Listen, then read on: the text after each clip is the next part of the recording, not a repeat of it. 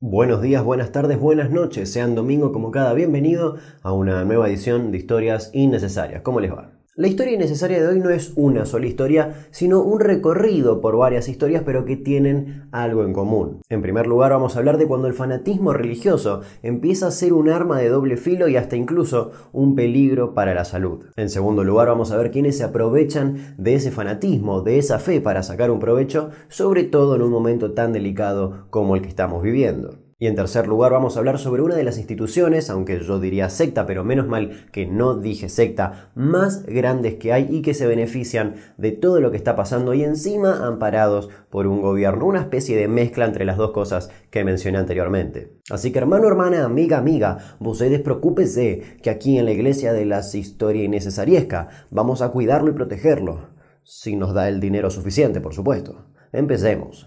Antes de adentrarnos en la historia, voy a abrir el paraguas porque ya me imagino los comentarios que habrá. A lo largo del video hablo de casos en específico y no estoy metiendo a todas las religiones, iglesias o creencias en una misma bolsa. Sé que hay muchas instituciones religiosas que velan por el bienestar de sus fieles. Ahora sí, la fe es algo que ayuda a mucha gente, en muchos planos de la vida, pero ¿qué pasa cuando esa fe o esa creencia comienza a chocar de manera directa con el mundo en el que vivimos? Quizás el ejemplo que primero se nos viene a la mente es el caso de los testigos de Jehová, que por su religión rechazan absolutamente las transfusiones de sangre, una prohibición basada en pasajes bíblicos. Hay una innumerable cantidad de noticias de gente que opta por morir antes que recibir la transfusión por sus creencias. Y actualmente también estamos viendo cosas muy similares. Israel es uno de los países que más está haciendo por combatir el COVID-19, pero hay algunos barrios ultra ortodoxos donde las cosas se están complicando un poco. Por ejemplo, en Mea Sharim,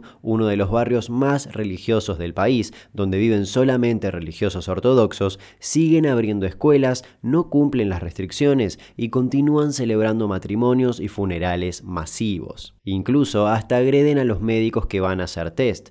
Eso, sumado a que normalmente viven familias muy numerosas en casas pequeñas y que no usan mucha tecnología, hace que se contagien fácilmente y que no estén al tanto de la peligrosidad de esta enfermedad. Y eso se ve en los resultados. La mitad de los hospitalizados en Israel por coronavirus son ultra ortodoxos. Pero la principal razón por la cual no se cuidan es por algo que se repite en prácticamente todas las religiones, sea cual sea. Tienen la certeza de que Dios los va a salvar de la enfermedad. No importa qué Dios y no importa qué religión, muchos de los fanáticos religiosos están seguros de eso y no toman los recaudos necesarios porque, y cito textualmente, su fe los va a salvar. Por ejemplo, en el Líbano un pastor decidió bendecir a toda la ciudad desde un avión. Cuando le preguntaron si tenía barbijo y gel antibacterial, él contestó, no, porque Jesús es mi protección.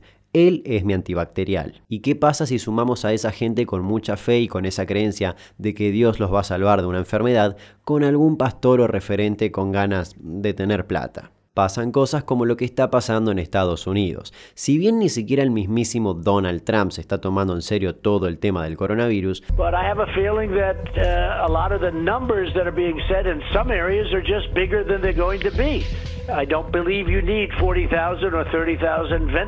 hay gobernadores de algunos estados que sí están tomando medidas. Y por eso la mayoría de las iglesias en Estados Unidos cambiaron sus servicios para cumplir con la cuarentena. Pero el pastor Tony Spell hizo absolutamente todo lo contrario. Junto a 1.800 fieles en Luisiana, mientras gritaba que Jesús iba a acabar con la pandemia. Como fruto de su misa sanadora, hubo 34 infectados conocidos hasta el momento y una mujer muerta. Todo eso por asistir a una sola misa.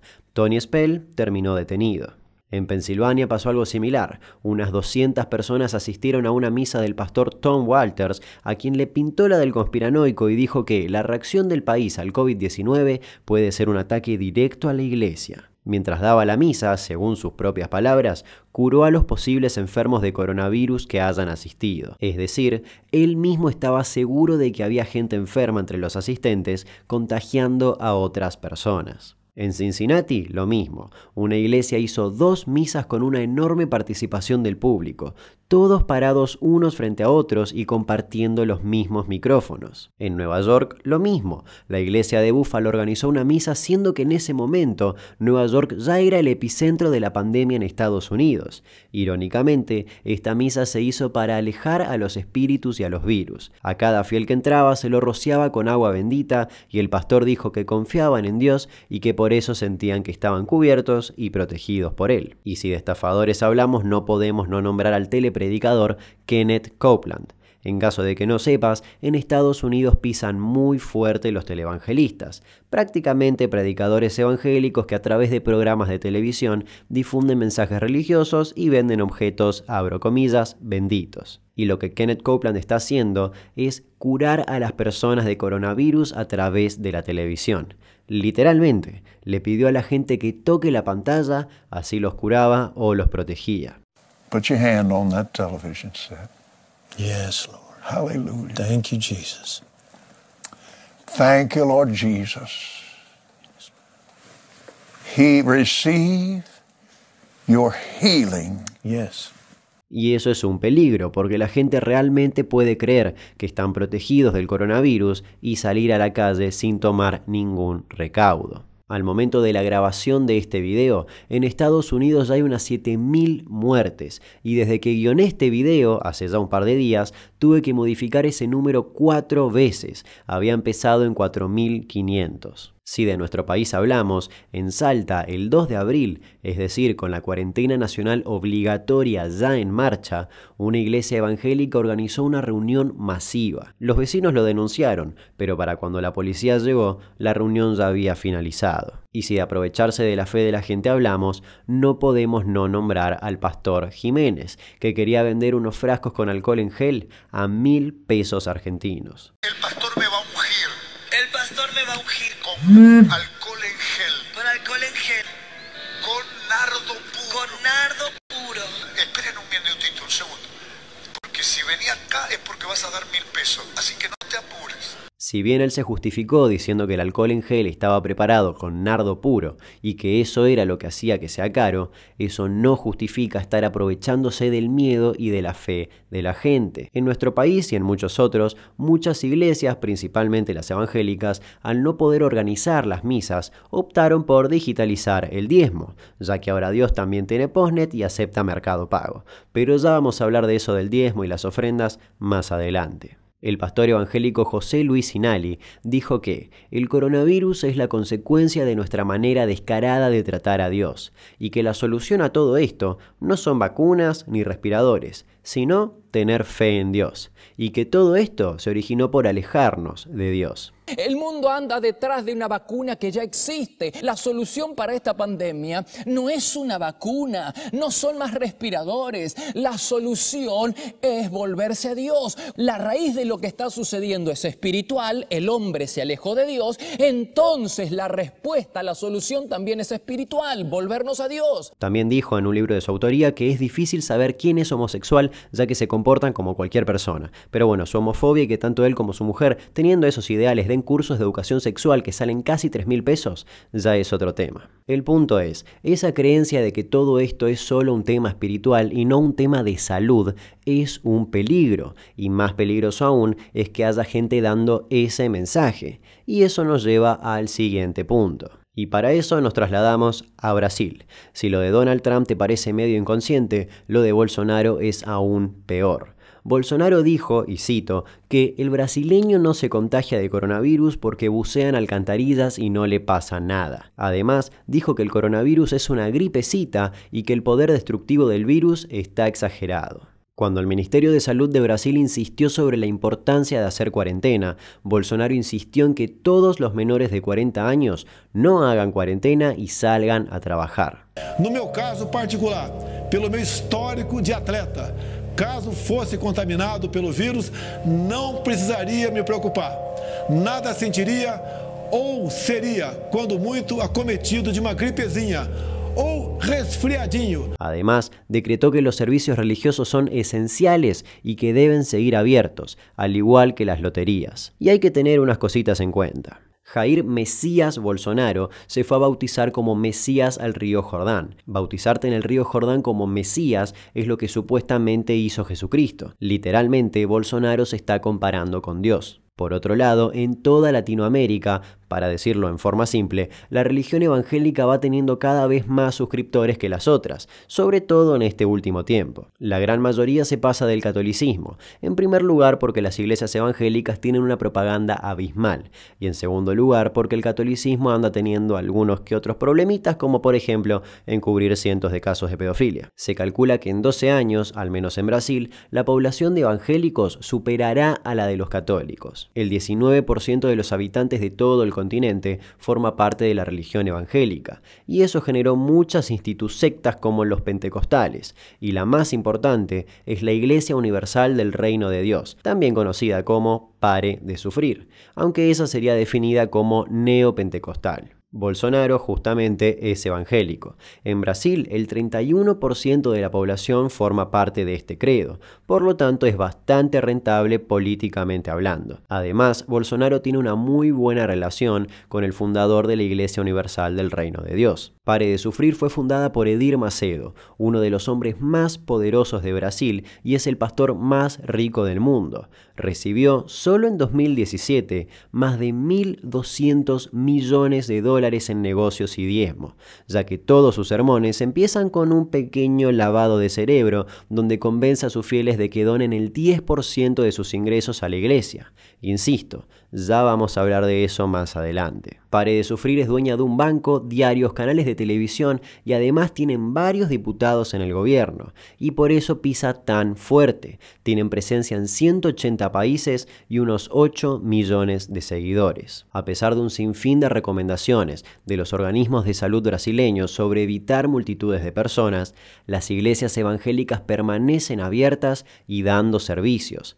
Cabe destacar que estos templos tienen capacidad para un promedio de 10.000 personas y algunos incluso más. Como dije, siguen abiertas ya que Bolsonaro modificó un decreto donde estas actividades y las loterías son esenciales. Sí, porque ir a jugar a la lotería o que un pastor te toque la cabeza es tan importante como ir a atenderte a un hospital. En Sao Paulo, la ciudad más afectada por toda la pandemia, la justicia había prohibido la realización de actos religiosos que involucren a reuniones de creyentes, pero días después, el presidente de la Corte de Justicia de esa ciudad tuvo que revocar el mandato por presiones del ayuntamiento y del gobierno estatal. En la misma ciudad se decretó la suspensión de cualquier evento que junte a más de 500 personas, pero al otro día, el templo de Salomón, que tiene capacidad para 10.000 personas, estaba lleno. El pastor y líder de la Asamblea Pentecostal de la Victoria de Dios en Cristo, Silas Malafaya, un gran amigo de Bolsonaro, declaró que no va a cerrar sus iglesias a menos que lo ordene un tribunal. Incluso criticó a los pastores que cerraron sus iglesias por la pandemia y le dijo a sus fieles que no tengan miedo. Otros pastores declararon que cualquier persona que tenga fe en Dios está protegida. Edir Macedo, de quien hablamos anteriormente, dijo que la iglesia va a estar abierta en todos los horarios para que puedan ingresar, decir sus oraciones, ir al altar y dar su ofrenda y su diezmo. También dijo que el coronavirus solamente afecta a quienes no tienen fe. Además, declaró esta maravilla en una entrevista. La plaga no es el coronavirus, es la coronaduda, y para poder enfrentar el coronavirus debes tener el antídoto que se llama coronafe. Según él, la coronafe es la confianza de que Dios está con vos y que nunca te va a fallar. Por supuesto, también dijo que el coronavirus es una estrategia de Satanás y de los medios de comunicación para inducir el pánico en la gente. A los días, la Iglesia Universal comunicó algunas medidas de seguridad. Al entrar a la iglesia te dan alcohol en gel y recomiendan que te sientes a una silla de por medio de las otras personas. La solución perfecta. Igualmente, a pesar de ese comunicado, todo siguió exactamente igual, y el portavoz de uno de los templos dijo, Dios pondrá las manos sobre nuestro Brasil. Y eso fue todo. Y ya que estamos hablando de la Iglesia Universal, cabe destacar que en el año 2011 Macedo fue denunciado por lavado de dinero. Supuestamente blanquearon unos 235 millones de dólares en donaciones, cosa que demuestra el tamaño de este culto. La iglesia pedía esas donaciones diciendo que el socorro espiritual y económico solo lo alcanzarían aquellos que se sacrificaran económicamente por la iglesia. Y ahora es cuando hablamos de los diezmos. Técnicamente la Iglesia Universal y la gran mayoría de las iglesias evangélicas se identifican con la teología de la prosperidad. Según esa doctrina, el bienestar financiero se atribuye a la voluntad de Dios. Supuestamente vas a aumentar tu riqueza material si donas a causas religiosas. Esas ofrendas son las que sostienen a la iglesia. Obviamente son llamadas ofrendas a Dios, aunque lisa y llanamente son ofrendas al bolsillo del pastor. Sin embargo, obviamente, estas denuncias a Edir Macedo jamás prosperan, y menos en estos momentos donde Bolsonaro es presidente. Los dirigentes de la Iglesia Universal siempre intentaron tener buenas relaciones con los gobiernos, sean de la posición que sean, de derecha o de izquierda. Además, como son cultos tan masivos, en época de elecciones todos los políticos se acercan a las iglesias en búsqueda del voto de los fieles. Hoy en día no le cuesta mucho a la iglesia eso de tener una buena relación con el gobierno, ya que el gobierno de Bolsonaro tiene un lineamiento muy acorde al de la iglesia universal. Y eso es un peligro, porque nunca pasa nada bueno cuando un ultraconservador se cree Dios y lidera un país. Y tenemos el ejemplo de Ríos Mott, que dijo que Dios le encargó salvar al país con una Biblia y un arma en la mano, y así daba inicio a la dictadura en Guatemala. Lo cierto es que los pastores evangélicos aportan y mucho a la política, y eso no pasa solo en Brasil, pasa en todos lados. Pero no todas son malas noticias. A pesar de todo lo que acabas de escuchar, hay instituciones que sí tomaron medidas. En Israel, por ejemplo, el muro de los lamentos fue subdividido en áreas pequeñas para evitar grupos grandes, y se cerraron muchos templos para proteger a los fieles. Las iglesias de Corea del Sur cerraron y ofrecieron sus servicios exclusivamente por YouTube. El Papa hizo lo mismo y así se repite en muchos casos en todas las religiones. En estos momentos de crisis y miedo es cuando las sectas e instituciones religiosas más se aprovechan de la gente. Por supuesto que no soy quien para decirte qué hacer con tu plata. Si querés dejar un 10% de tus ingresos a tu iglesia, hacelo. Pero pongas o no plata no te asegura nada. Por más fe que tengas, podés contagiarte de cualquier cosa y eso es muy importante que lo sepas. La principal justificación de los pastores para pedir ese porcentaje es decir que su iglesia es independiente y que esos ingresos son para mantener a la iglesia. Pero ¿cómo comprarse un helicóptero o construirse un estadio es mantener a la iglesia? ¿O acaso tener una colección de autos deportivos es mantener a la iglesia? La fe es muy importante para muchas personas y eso está perfecto, pero en momentos como el que estamos viviendo actualmente es muy importante separar tus creencias de la realidad que nos toca vivir a todos. Creer que hay una fuerza mayor que te va a cuidar es completamente reconfortante en este caótico y azaroso mundo. Es una respuesta hermosa a un problema que, al menos por ahora, no tiene ninguna respuesta. Pero lo que te hace bien a la cabeza y te tranquiliza puede no ser bueno para tu salud. Y vos dirás que cada quien crea lo que quiera creer. Y es así, y está perfecto. Cada uno puede seguir la religión que quiera y pensar lo que quiera. Pero en la situación en la que estamos, ignorar la problemática real y exponerse perjudica a todos. Una persona enferma puede contagiar a muchas personas más. Y por más fe que tengas, te podés contagiar. El coronavirus existe y es una realidad, y estamos viendo sus consecuencias día a día. Cuídate y no salgas de tu casa. Y pastores, por favor, dejen de organizar misas y dejen de aprovecharse del miedo de la gente. Este video fue grabado y guionado durante los primeros días de abril, pero esta parte lo estoy grabando hoy, domingo 5 de abril, el día que lo publico, para poder actualizar el video con nuevas informaciones o cifras. Y por suerte, en el día de ayer, Bolsonaro por fin tomó una medida para combatir a toda esta pandemia y proteger a su gente. Convocó a un día de oración y ayuna. Que no se malinterprete, orar está perfecto y si te sirve y se ajusta a tus creencias, metele para adelante. El problema es cuando tu única medida para combatir una pandemia, que prácticamente está por matar a toda tu población, es un día de oración y ayuna. Por otro lado, no estoy diciendo que nuestro país está haciendo todo perfecto. En absoluto, todos vimos el desastre que fue hace unos días afuera de cada banco a lo largo y a lo ancho de toda la Argentina. Todo este problema agarró al mundo literalmente en pelotas, pero cada quien está intentando hacer las cosas lo mejor que puede. Pero en Brasil hay un presidente que literalmente está llamando a la población a desobedecer la cuarentena, siendo que tiene un tipo al lado que le está diciendo, hey Mesías, capaz que la gente se tiene que encerrar porque va a morir un montón de gente. Por otro lado, me parece importante aclarar que para hacer este video hablé con mucha gente que formó parte de estas instituciones o como ellos mismos lo llamaron, sectas, tanto fieles como ex pastores. Y como dije, no estoy generalizando ni metiendo a todas las religiones o instituciones en una misma bolsa. Oportunistas hay en todos lados. Incluso hay gente que está aprovechando que todo el mundo está encerrado para hacer un montón de videos y así seguir facturando y seguir contando dólares. Taca, taca, taca. En fin, espero que les haya gustado esta nueva edición de Historias Innecesarias y nos reencontramos el domingo que viene, por supuesto que sí. Hasta luego. Y si no estás suscrito o suscripta, ya sabes, tenés que suscribirte, poner un me gusta y comentar algo así el algoritmo me ayuda y sigo facturando piqui piqui piqui piqui.